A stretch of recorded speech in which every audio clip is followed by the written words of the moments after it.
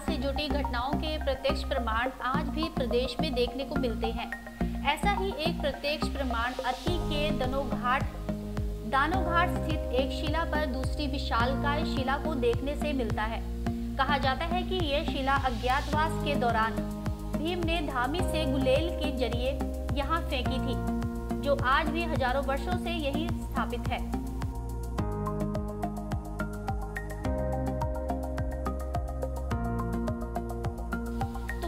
भूकंप आने से भी इस पत्थर को आज दिन तक कोई नुकसान नहीं पहुँचा है। कुदरत के इस नज़ारे को विकसित करने के लिए अगर सरकार कोई प्रयास करे तो इसे आने वाले समय में पर्यटन की दृष्टि से, पर्यटकों की दृष्टि से विकसित करके, जहाँ स्थानीय लोगों को आजीविका कमाने का अवसर प्राप्त होगा, वहीं सरकार के राजकोष में भी वृद्धि होगी।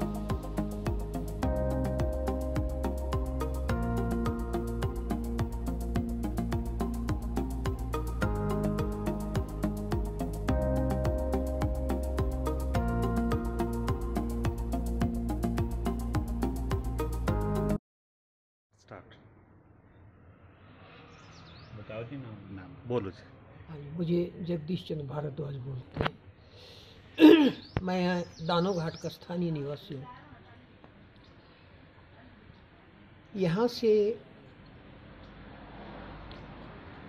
नज़दीक ही यहाँ पर भीम गलोला बोलते हैं जिसको। वो धामी से भीम जी ने अपने धनुष द्वारा जो है निशान चिन्ह बना करके उसको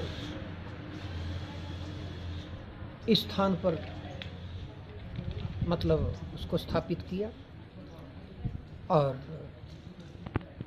ये बड़ी पुरानी इसकी कहानी है, राजाओं के टाइम से भी। इसके उखाड़ने के लिए जो इस वक्त दृश्यमान है, वहाँ पर भीम का जो पत्थर है उसको उखाड़ने के लिए राजाओं से लेकर के कई बार धामी से भी और रियासत बागल से राजा के भी कुछ लोग आए। प्रयत्न किया गया कि इसको उखाड़ा जाए। वहाँ पर सांप और रिंगल होते हैं, उनके द्वारा जो है वो लोग सारे भगाए गए और उसको नहीं उखाड़ सके। ये बहुत पहला से लेकर के इसका बहुत लोग पर्यटन भी इसके देखने के लिए आते हैं। और अच्छा स्थान है। है ये महाभारत के टाइम से। है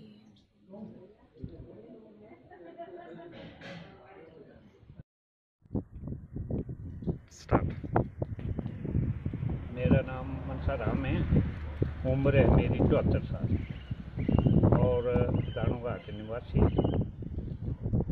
ये जो पेमरोला है, इसकी स्टेट की जाए से हमारा यही है कि कोई स्थान ऐसा बन जाए इसका, जो लोगों के लिए भी आने जाने के लिए देखने के काबिल हो। बाकी सरकार से यही अनुरोध है हमारा। न्यूज़ के लिए अर्की से राकेश